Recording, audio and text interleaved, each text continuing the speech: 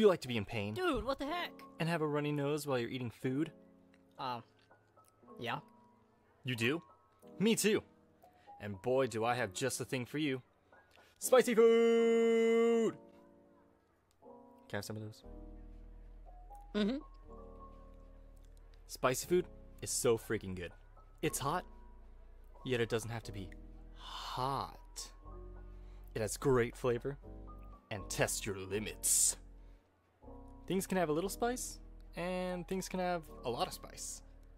You can use spicy food to torture your friends and enemies, or have a great time with your friends while watching things like sports or whatever. Eh, don't you think? Don't you think? Yeah, uh, t- totally. You can munch on snacky spices like hot Cheetos or Takis. It helps you stay hydrated because, uh, you know, you guzzle a bunch of water while you're eating it because it burns so good. And, uh, speaking of burning, it, uh, also helps your butt feel hot and, uh, sometimes it stings when it comes out of the other hand.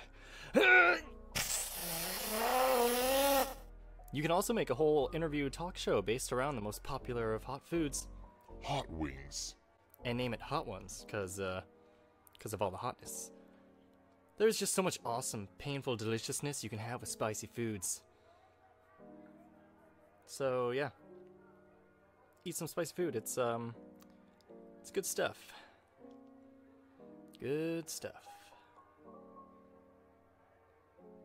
Hey, they're still here. Oh, well, I thank you for staying to the end, and uh, I want to show you something. These are some shirts I just made. Feel free to get some and support me if you wanna. Um, but if you also want to support for free, just hit that subscribe button and uh, maybe share this with some friends and help my channel grow. But uh, yeah, so um,